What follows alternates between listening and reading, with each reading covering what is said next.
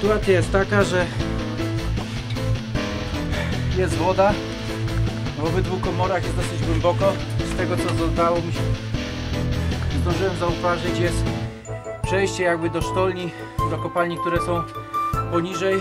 Są one zalane, więc czekamy na nurków, którzy przyjadą i tutaj będziemy wchodzić z nurkowaniem do tych podziemnych wyrobisk.